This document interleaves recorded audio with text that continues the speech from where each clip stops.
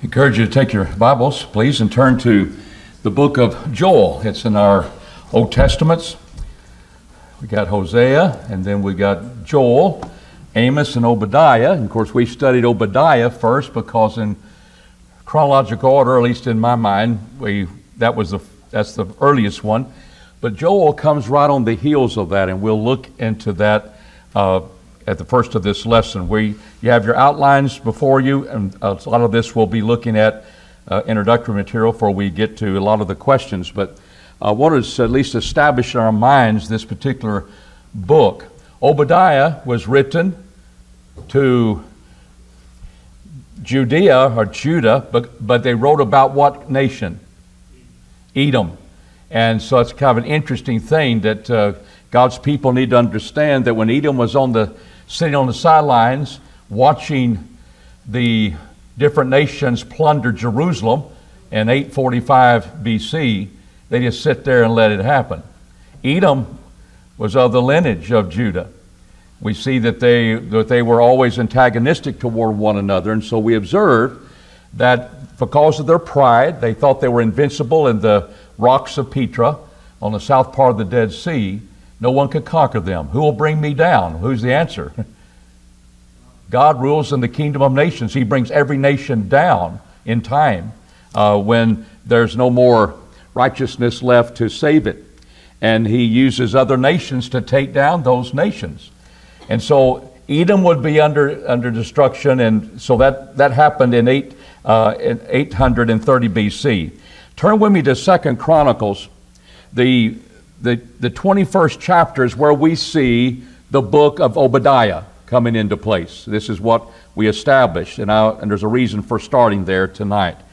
But we said Jehovah stirred up against Jehoram the spirit of the Philistines, the Arabians, and the Ethiopians. There was a plurality of nations that plundered Jerusalem in the book of Obadiah. And so it happened in the, the that Jehovah stirred up against Jehoram. Jehoram is the king of Judah. He has been going wrong. He's been uh, not pleasing God. And God is stirring up the nations to go judge, bring judgment upon the uh, people of Jerusalem. And so they came up against Judah, break into it, and carried away all the substance that was found in the king's house, and his sons also and his wives. So that there was never a son left save who? This becomes important for our prophecies in Joel. Who's left according to your translation? Mine says Jehoahaz. Uh, he'll be Ahaziah in the next chapter, but it's the same one. He was the only one left when they killed all of the, of the children of that lineage. And so he uh, comes on the scene, and we begin to see some background that we'll see in, in Joel's lesson. So they, they drew lots, uh, the Philistines and the Arabians, according to the book of Obadiah, they chose lots. It wasn't one nation bringing down Jerusalem at this time. That would happen with, in 722, the Assyrian nation would bring down the northern kingdom of Judah. And then in 586 BC, Nebuchadnezzar of the Chaldeans would bring down the southern kingdom. Those were just one nation's conquering. These are plurality of, of, of nations around them. And so there's that distinction that the internal evidence from Obadiah tells me we're looking at probably 830 BC. Uh, when, when that, I, I, I'm looking at 845 BC. I'm looking at Joel 830, so a little bit later. So let's look at this particular prophecy. What does the word Joel mean? Joel appreciate this. What does the word Joel mean? Jehovah is God, not jo- Joel is God. Jehovah is God. That's what that, that word means. He, what do you know about him? He's the son of, of, of Pethuel, which means the vision of Jehovah, or as some will look at the open, his vision is open heartedness of the sincerity of, or his sincerity uh, that's toward them. But that's all we know about Joel, just like we don't know much about Obadiah. So a lot of background of what he is, but he is mentioned again in the New Testament. And we'll, we'll look at that this, this evening. So let's look. And I ask you Second Chronicles. Uh, we've been looking at Second Chronicles 21, 16. And we got Jehoahaz left. And now he's referred to as Ahaziah. in chapter 22 and verse 1. And so we begin to see this fact that here comes the next ruler, Ahaziah, and it's Jehoahaz in, in our text in, in Chronicles 21. So let's look at the rulers that we're looking at and kind of the history behind it. And this is in Second Chronicles 22 through chapter 24. So if you're, and also 2 Kings 11 and 12. So if you want to look at the background of what I think the book of Joel in that time frame that was written, we'll see. Uh, you can put that together. So it kind of follows what we see where Obadiah is in chapter 21, 16, and 17. Chapter 22 through 24, we'll place in, in our study, the book of Joel. They were early books, uh, and, and they're written uh, kind of interesting in, in, a way, but we'll, we'll see what Joel's is all about. But that's kind of where we began.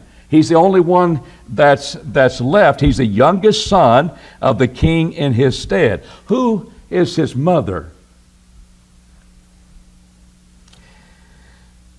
Athaliah. Does that sound like a feminine name? Does, does to me. Uh, it, but we see in the Bible, in verse 2 of chapter 22, his mother's name was Athaliah, the daughter of Omri. Now, here you begin to tie in the northern kingdom and all of their idolatrous ways of Baal worship. You got Ahab, what is his wife's name? Jezebel. And they're going to meet their demise as, as well. And we got to have, we're going to be having Jehu in the times of these chapters we're looking at that's going to come after uh, the people, the, the kings, the, I guess the leading people of, of Jerusalem under uh, Athaliah's name and bring destruction on him, and he's going to, he's going to be killing. Uh, the son of Athaliah, who's Ahaziah, and she doesn't like it. And what does she do? I know we don't, I'm, I'm just I'm going to move through ahead, ahead of this. I'm not going to make you have to answer it. But she kills everybody of the, of the seed when she finds out her son is dead. But there was one that saved. There's one that saved. Because what happens is Jehoshabeath, that's a woman, she saves the youngest of that group, which will be King Joash. But in between this time, Athaliah, a woman, rules over the kingdom of Judah. Did you know that? You should. It's the truth. She reigns for six years. How long do our presidents reign between elections? Four. But she reigned six years. A woman is that there ruling over the kingdom of Judah, the lineage of Jesus and David? It, yep, she is. Now, she didn't deserve it. She wasn't one that was appointed by God to do that, but she killed all, all the people. And so here is the, a woman that saves her, her the, Joash, saves Joash from being eliminated. Uh, she didn't get him, and that comes back to haunt her because there's a man that becomes very important in this section. Jehoiada. Who is he? He's not a king, that's why I got him in parentheses. He's a high priest. He was a good man. And he was married to Jeshashabehath. and I just call her Mrs. Jehoiada. That'd be easier for me. But she's, he's married to her. And they got, also they, they have ties in with uh, dealing with, with Athaliah, who had dealings with Ahab in, in that lineage. So you have Jehoiada the priest and when Jehu kills Athaliah, uh, kills Ahaziah, Athaliah begins to rule. But notice in verse chapter 23 and verse 1, in the seventh year, so Athaliah is just ruling because nobody's taking her down. In the seventh year, Jehoiada strengthened himself and took the captains of hundreds. So he begins to get men around him, and we're going to go to the priest. He's the high priest. We're going to call on the priest, and we're going to get strong against Athaliah. Jehu comes upon the scene. He's, he's been appointed by God to take down Ahab and Jezebel. And in the meantime, while he's doing that, he'll take down Athaliah uh, because of her connections with that, that northern kingdom. So what happens then is Joash is set forth as, as king. And what we see as we enter into chapter 24, how old was Joash when he began to reign? Chapter 24 and verse 1. How old? 70? 17? He's seven. Do you think he might need a counselor? He might not think so, but do you think he might need a counselor? If you look in the scripture, you'll see Athaliah was a counselor to his her son. Well, who's going to be the counselor to Joash, you think? You have to think, you know. The high priest, Jehoiada. And so we'll notice in chapter 24 and verses 1 and 2, when he was seven years old, he began to reign. He reigned 40 years in Jerusalem. His mother's name was Zibiah and, and uh, of, of Beersheba. And Joash did that which was right in the eyes of Jehovah. How long? How long? That's that. That's right. All the days of Jehoiada the high priest. And so that becomes a very important thing to under, understand that it was going to be kind of limited of what took place in the days of the high priest. So Jehoiada took for him two wives. He's quite a mentor, isn't he? He's kind of stepping in as, as, a, as a father, picks his two wives, he begets sons and daughters. Things are fine. But look at chapter 24 and verse 15. But Jehoiada waxed old and was full of days. I guess so. He died at 130 years of age, didn't he? So he had a, a long lineage of being helpful and being strong to take down the, the idolatrous Athaliah and her wickedness. They buried him in the city of David among the kings because he had done good in Israel toward God in his house. And after the death of Jehoiada came the princes of Judah and made obeisance to the king. Then the king hearkened to God or hearkened unto them hearkened unto them, and they forsook the house of Jehovah. Jehoiada is probably turning in his tomb.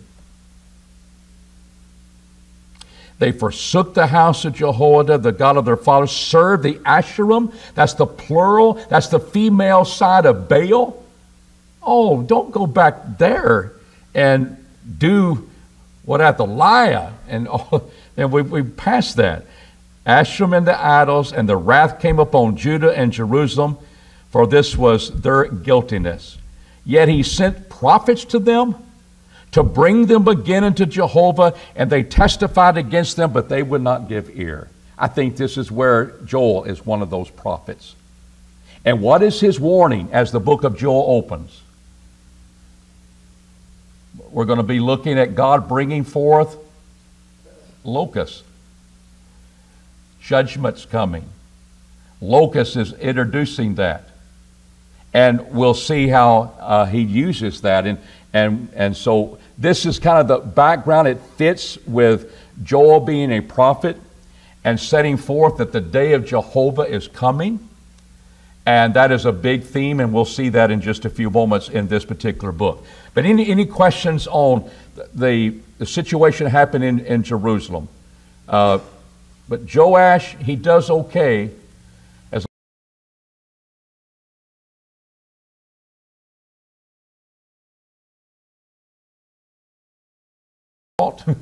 of the truth of God because they can forget it in a generation.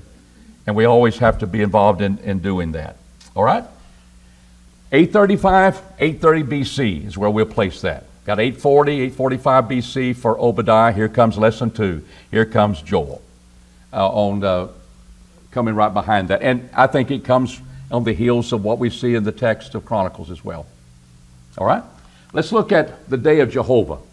That becomes a, an important theme uh, in th- throughout this book of, of Joel.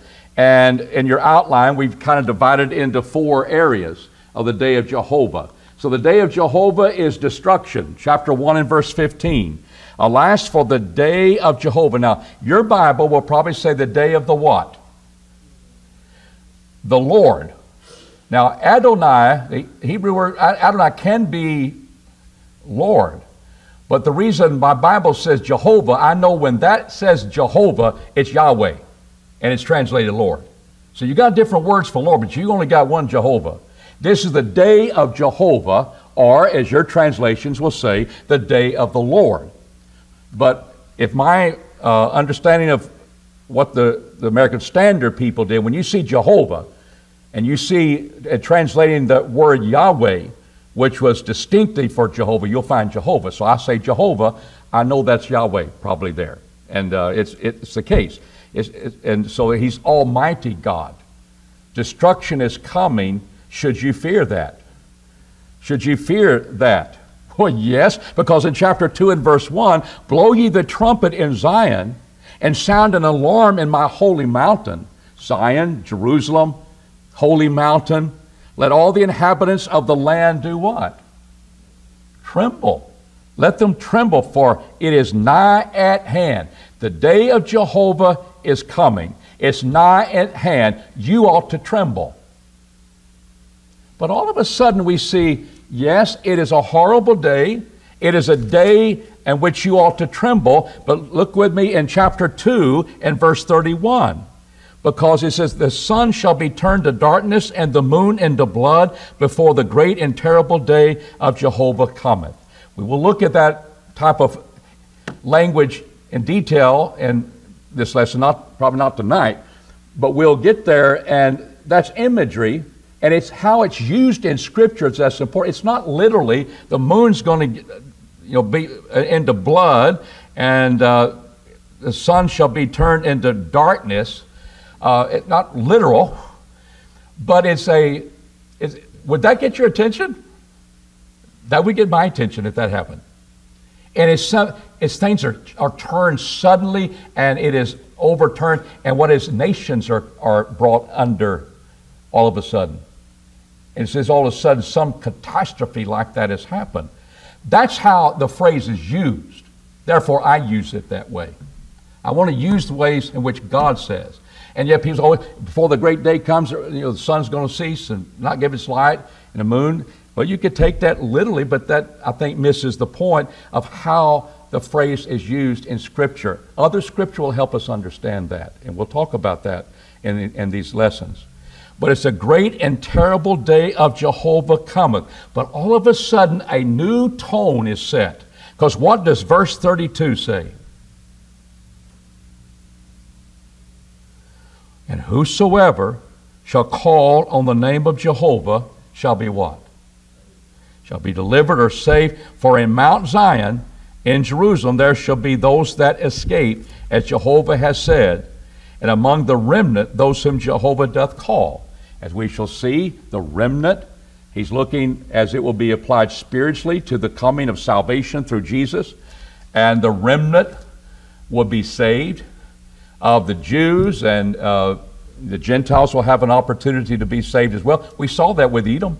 Edom is a, is a foreign nation, and yet they have the prophecy that indeed they will be able to come to find help, refuge in, in Mount Zion as well. So all of a sudden we see hope bringing forth that, well, the day's coming. You ought to tremble. Nations ought to tremble. Destruction is coming. And in this context, it's coming on Jerusalem. It's not the end of time stuff. It's coming on Jerusalem. We see how wicked the nation, the, the people have become, following after uh, idols in, in Joash's day. So we see that happening. And then something that's interesting too, chapter 3 and verse 14, as we come to the end of the book, multi, multitudes in the valley of decision, for the day of Jehovah is near in the valley of decision. God is bringing his decision upon a people who will not repent. And he says, The sun and the moon are darkened, the stars withdraw their shining. And said, Jehovah will roar in Zion, utter his voice from Jerusalem, and the heavens and the earth shall shake, but Jehovah will be a refuge unto his people and a stronghold to the children of Israel. There's, give, there's hope for his people. It'll be a remnant that will have hope. But there again in, in, his Mount Zion, that's where he'll roar from Mount Zion. That's where he'll have his refuge. Now, this is, helps us to understand two divisions in the book of Joel. And this first, first division that we see, if you look at your, your outline, uh, page two, I give three here, but you can divide this into two. The day of the Lord calls for God's people to respond. They ought to tremble. Judgment is coming, it is at hand. It's from the Almighty God. They don't have power over Him, He'll bring it about.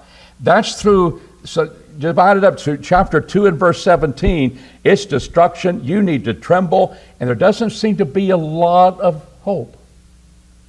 But beginning in verses 18, and you can take that on through chapter 3, 21, God will respond to his people's mourning and repentance. And he'll create the day of salvation. We just saw that in connection with what happens beginning in this section in chapter 2. So, the day of Jehovah, the day of the Lord, judgment plus blessings are coming. That's the way it is with, uh, with God's coming uh, in, in, in any context we put it in. That's something you can always look at, and that's what Joel provides. But it divides the book up beautifully. That that first section, one and two, uh, through chapter two and verse seventeen, is that destruction, fear, fear, fear, fear, and now there's hope, hope, hope, hope.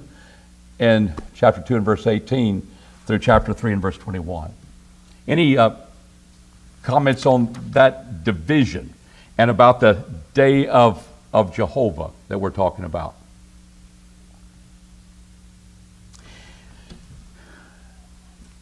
Joshua 2 28 through 32. We turn to Acts, the second chapter, and verse 16. You wonder why Joel is called the prophet of Pentecost? You might be called that prophet of Pentecost. Because First of all, let's look at the text. Hosea, uh, Joel, the second chapter, we'll see in verse 28. See if this sounds familiar to you in your New Testament reading. It shall come to pass afterward that I will pour out my spirit upon all flesh. Your sons and your daughters shall prophesy, your old men shall dream dreams, your young men shall see visions. And also upon the servants that are upon the handmaids in those days will I pour out my spirit. And I will show wonders in the heavens and the earth, blood and fire, pillars of smoke. As if the presence of God is coming and he's prophesying of judgment. The sun shall be turned to darkness, the moon into blood before the great and terrible day of Jehovah. That's what Joel's been, we've seen that, that throughout his, his, his, his prophecy. And it shall come to pass that whosoever shall call on the name of Jehovah shall be what? We saw that too in the second half of Joel. So that's a very pivotal point. But I know what Joel was looking to. I know how Joel 2, 28, and the moon is not permanently red blood, the sun is shining, but it wasn't going to shine, for that darkness is coming. So, uh, in the context of God's judgment, this catastrophe that's taking place, that day in which the ultimate catastrophe will take place, this earth and heavens will be burned up completely. But what is he offering to us? So let's go to Acts, the second chapter. When we see Peter, the inspired apostle, he'll tell you when Joel 2, 28 through 32 was being fulfilled. You don't have to have any wonder about it. Because what had just happened in these first 13 verses of, of Acts 2? What has just happened?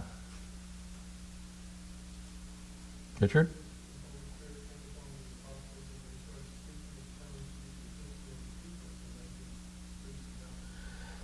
Very good. A lot of people say, well, the Holy Spirit came on everybody. No, it came on the apostles.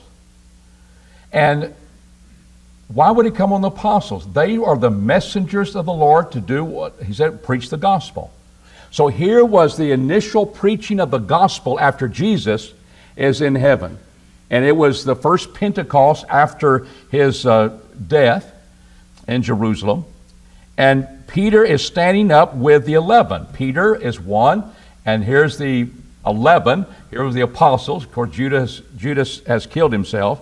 But he's standing up with the eleven, he lifted up his voice and spake forth, saying, Ye men of Judea, and all ye that dwell at Jerusalem, be it known unto you this day, and give ear to my words.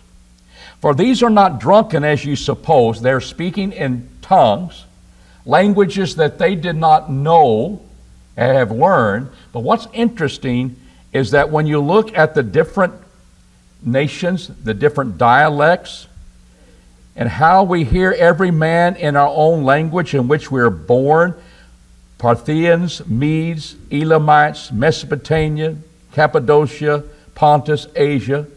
They were speaking in languages that these Galileans didn't know. That was the, eh, but the people who were born in that language said, they're speaking my language. And it's like when, when, when, people who may have never learned English and they're, they, all they knew is Chinese, and all of a sudden they speak English. That impresses you. That's what these were doing. That was the power of the Holy Spirit. It wasn't, I'm speaking in tongues and nobody understands it and I feel good because I'm being energized. That's not what we get in the text, and that's not what we get in the New Testament about when the Holy Spirit empowered people to speak in language. It was a sign that they've been empowered by God because you just don't speak fluently in another language that you don't know and haven't studied. And they were speaking in the languages of men. You could see their location on the map. And they were the apostles. These Galileans are speaking this. And Joel is coming to the forefront. But this is that, verse 16, this is that which has been spoken through the prophet, what's his name? Joel. And it shall be in the last days. See, we're living in the last days. We've been living in the last days since Jesus established his kingdom upon this earth, the spiritual kingdom, the church. And we're in the last days. And, and, and Paul lived in the last days. Timothy lived in the last days. And because Jesus has come he has set up his spiritual kingdom. He's set up his rule in the hearts of people. He has confirmed the message with miracles, and we have the confirmed message. And he can come back anytime for judgment. And but Joel is looking at God, God coming back in judgment, and we need to be prepared because what does he say as he says, All your daughters and sons shall prophesy. Holy Spirit will come upon women who are prophetesses in the New Testament days, inspired people. It will come upon them and in order to present the word. And so, and it shall be that whosoever shall call on the name of the Lord, Acts 2.21, shall be delivered or shall be saved. So how do they start doing that in Acts 2? And they that received his word were baptized. There were added to them that day about 3,000 souls. Sound like they were delivered. What did they, did they do that in the name of the Lord? Repent ye and be baptized, every one of you, in the name of Jesus Christ, unto the remission of your sins. So it started on that day. But it was, this is that. I can't, you can't get any more specific. This, what Joel is prophesied, is what, what is happening now. This is that which what Joel prophesied. And that's why we begin to see, well, here's this spiritual fulfillment in the last half of Joel, in the context in which he would bring Jerusalem down uh, from the prophecy of, of, J, of Joel. So we'll, we'll put those, we'll try to put those pieces together. All right? Any questions on uh, the day of the Jehovah, the idea of Pentecost, how the book is divided in the time frame?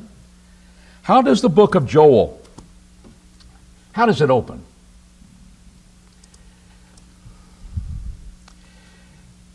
Something that, have you ever seen this, old man? Uh, it came in the day, in the day when he, he starts out, hear this, old men, and give ear, all you inhabitants of the land. Have you been in your days, or in the days of your fathers, has this happened? So what is this? And what was it? And for the first two chapters, you need to keep coming back to it. What was it that happened? Locusts, one grasshopper on a hook and catching catfish in a pond. Wish we could do that again. What's that? Oh, that's a plague. Uh, a plague of what? Swarming locusts. Uh, is that miraculous? Necessarily. And I'm going to show you it's not necessarily. It happened in 2020. I thought, I thought the only plague we got was COVID. But I want us to see that here we look at what happened in the locust plague of 2020. It had started the last part of December. Now, this is in Eastern Africa, Kenya, Ethiopia, uh, Iran uh, had, had these, this, this plague. It affected a lot of nations in the eastern part of Africa. But this is not new. You go back and look, 1950, 1920 something. A lot of times they would come from the southeast, which would be Africa. They would come from that southeast and head uh, from the southwest and head uh, northeast. But sometimes the brood of locusts would be those that change it. They come from the north uh, east and head southwest. And in Joel, you'll find that they're coming from the north in the book of Joel. But they would come from both directions. Is this lady having a problem? 80 million locusts can be gathered together in a very short uh, place of space. 80 million. And a lot of times the female will lay her eggs in the ground after the locusts have come by and, and, eaten a little bit, some of those locusts, she will lay the, those eggs in the ground. And there may be 75,000 eggs and 65,000 survive. And they get young and they get uh, want to eat and they want to har- and and they, they there's so many gathered together they will continue to multiply, and that's why you get the swarm. That's not miraculous. That's the way it works. But what happens is that this came on God's bidding. He said, Bring it on. And so, regardless, if this, if this, well, you're going to have to make a decision. Is the nation in chapter 2 or the army in chapter 2, is that an army of man or is it an army of locusts? You'll have to make that decision as you study it. And we'll see in the first chapter, it's also called a nation. I'll bring a nation on you. Well, couldn't this swarm of locusts, who's doing so much destruction to them, I see why they could be called a nation. And they could be called God's army, the Lord's army, because God is using them to bring destruction upon the people. And we see He's sending the locusts to wake you up. It's not the final destruction is to get you out of your stupor, you drunken people. That's the way Joel put it. And so we began to see that, that this is not a, a thing. There, there, there he is, or there she is. In Kenya, in this 2020, that's kind of what the man was, he's trying to shoo them away. A lot of times the young people would shoo them away, and they're having problems in 2020 because they wake up at night with nightmares thinking that, that they're all coming after them again. It gets to them. And that's a plague. Pandemic, because it goes through many nations, causing such destruction. And yet, you can put one on your fingertip, and that's what he looks like. Real life stuff, up to date events that happened in the 9th century BC as well. Doesn't necessarily mean it's a miracle. But what is it? It's timing. And God brings that phenomenon that, that, that was something that apparently you're not going to forget. You're not going to forget that. And we'll look at that in the first few verses. So he uses this as judgment. The day of the Lord is at hand. And here is what God Almighty has done. Now, what would the locusts, what would they devour? That would be very important to the people or crops. Well, we'll still have new wine. We'll still have grape juice. Really? What crops would they destroy? Call you vines. We'll still have our olive trees. Well, they'll take care of them too. Well, that's going to affect the priest. Yeah. That's going to affect people and their meal offerings. Yeah. Priest will be affected by that.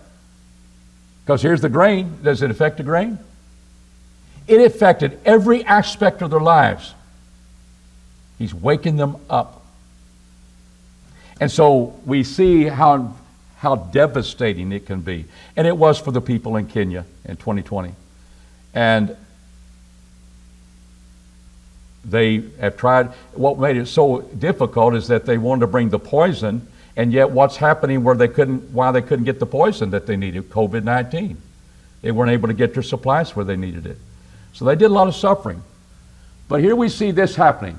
Does the reference to the locust plague refer to various stages of development of the grasshopper or connected with that?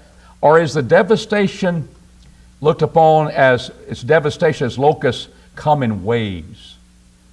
What imagery do you see when now I'm you'll have the translations are are they're different. And that's why we ask this question. Now here's American Standard. That which the palmer worm hath left, hath the locust eaten. And that which the locust hath left, the canker worm eaten, has eaten. And that which the canker worm hath left, the caterpillar eat, eats or has eaten. So you got canker worm and palmer worm and all of that, and some have said, well, th- those are the different types of locusts. Do you get the imagery that, uh, w- well, but no, that's the different, that's the locust, but they're, uh, they're, they're, you know, five molts. They go through five molt stages uh, as come from, from uh, just the larva, and the egg, the larva, and, and the, the full grown locust. So these are just uh, the stages in which they are occurring. And some have said that's exactly right. I'm not arguing with that. Yes,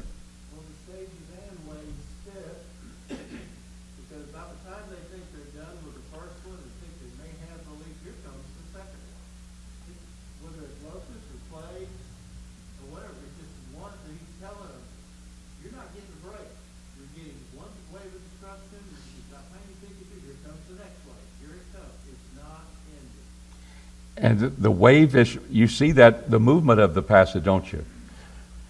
Every word that you find in your text, locust, they're a different Hebrew word.